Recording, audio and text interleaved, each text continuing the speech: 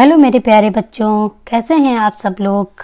Welcome to my YouTube channel तो आज मैं आपके लिए हिंदी का वीडियो लेकर आई हूँ। उसमें आपको क्या जानकारी मिलेगी कि कौन सा व्यक्ति क्या काम करता है और जो वो काम करता है उसका नाम क्या होता है, उसको किस नाम से बुलाते हैं। तो आज हम ये वीडियो में जानेंगे। तो किसके पास जाओगे? काम क्या होता है और क्या नाम होगा? ठीक है तो इधर लिखा है काम और इधर लिखा है नाम। तो मेज या लकड़ी का जो भी काम हम करवाने जाते हैं, कुर्सी, बेड, तखत या फिर मेज जो भी बनवाने जाते हैं तो किसके पास जाते हैं? बढ़ई के पास। बढ़ई के पास जाते हैं, इसको इंग्लिश में कारपेंटर भी कहते हैं। फिर मिट्टी का बर्तन खरीदने तो मिट्टी का बर्तन बच्चों आप किसके पास जाते हैं? जैसे आप लोग पैसे रखने के लिए गुल्लक लेके आते हैं या प्याली छोटी छोटी लेके आते हैं मिट्टी की तो वो आप किसके पास जाते हैं? तो उसका, उसको क्या कहते हैं? कुम्हार। तो इस तरह से यहाँ पे लिख देंगे कुम्हार। ठीक है? तो मिट्टी के बर्तन खरीदने हम कुम्हार के पास जाते हैं। फिर उसके बाद कपड़ा सिलवाने। कपड़ा सिलवाने आप किसके पास जाते हैं? कपड़ा सिलवाने मम्मी जाती हैं उनके साथ जाते हैं या आप लोग भी जाते होंगे साथ में? तो कपड़ा सिलवाने हम जाते हैं दर्जी के पास। तो यहाँ पे लिख देंगे दर्जी। तो ये हो गया, ये हो गया काम। कपड़ा सिलना उसका काम है और सिलता कौन है? दर्जी। तो ये हो गया उसका नाम। फिर खुरपी बनवाने। तो खुरपी बनवाने हम लोग किसके पास जाते हैं? जो भी लोहे का सामान बनता है, चाकू है, खुरपी है, फावड़ा है, इस तरीके की चीज़ कौन बनाता है? तो वो बनाता है लोहार। तो यहाँ पे लिख देंगे लोहार। तो खुरपी बनाने लोहार के पास हम जाते हैं। तो अब आगे हम पहचानेंगे, कैसे पहचानोगे? कि जैसे कि ये यहाँ पे रखी है आइस, यानी कि यहाँ पे बर्फ़ रखी है।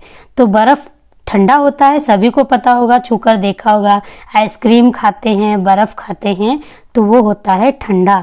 तो इसको पहचानेंगे कैसे हम? छू कर पहचानेंगे। दूर से तो नहीं जानते हैं कि बर्फ़ किस तरीके का होता है तो छू कर पहचानेंगे कि बर्फ़ ठंडा होता है। फिर उसके बाद ये कौन सी आकृति बनी है बच्चों? आप सभी लोग जानते होंगे। कि ये कौन सी आकृति बनी तो इसमें कुछ लड्डू जैसे दिख रहे हैं तो ये बने हैं लड्डू। तो लड्डू का स्वाद होता है। तो वो आप कैसे पहचानेंगे? लड्डू को आप खा कर पहचानेंगे। खा कर तो यहाँ पे ये हो गया खाकर। तो लड्डू को जब मुँह में हम खाएँगे, तभी तो उसका स्वाद जानेंगे कि कैसा होता है तो खाकर हम उसको जानेंगे। फिर घंटी। अगर घंटी कहीं पे बज रही है, उसकी आवाज़ आपको कैसे पता चलेगी?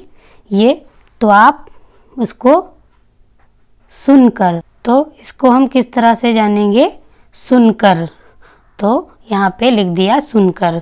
घंटी की आवाज़ हम सुनकर पहचानते हैं कि हाँ घंटी बज रही है।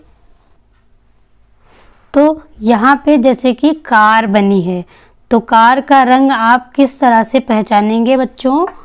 कार को जब आप खड़ी देखेंगे, तभी तो जानेंगे तो इसको क्या होगा? देख कर।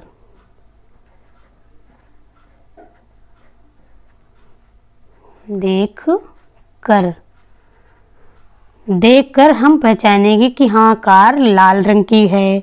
किस कलर की है, ना? लाल रंग की है तो उसको देख कर पहचानेंगे। फिर नेक्स्ट है, यहाँ पे बना है फूल। तो ये फूल बना हुआ है। तो फूल की खुशबू को आप कैसे पहचानेंगे? कैसे पहचानेंगे? बताइए।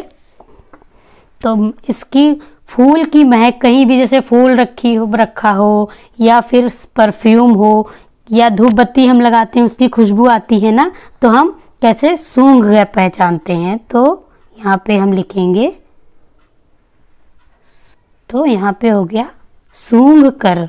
तो फूल की खुशबू हम सूंघ कर पहचानते हैं। तो इस तरह से सभी बच्चों को पता चल गया होगा कि कौन सी चीज़ किस तरह से, जैसे लड्डू खाकर, घंटी की आवाज़ सुनकर और कार का कल रंग देखकर और फूल की महक सूंघकर हम पहचानते हैं। तो अगर आपको मेरा ये वीडियो ज़रा सा भी हेल्पफुल लगा हो तो वीडियो को लाइक कीजिए और ज़्यादा से ज़्यादा शेयर कीजिए। साथ में अगर आप मेरे चैनल पर नए हैं तो चैनल को सब्सक्राइब कर लीजिए और पास में जो बेल आइकन है, उसे भी दबा दीजिए ताकि मेरी आने वाली वीडियो आपको सबसे पहले मिल सके। थैंक्स फॉर वॉचिंग मिलते हैं नेक्स्ट वीडियो में। Bye bye and take care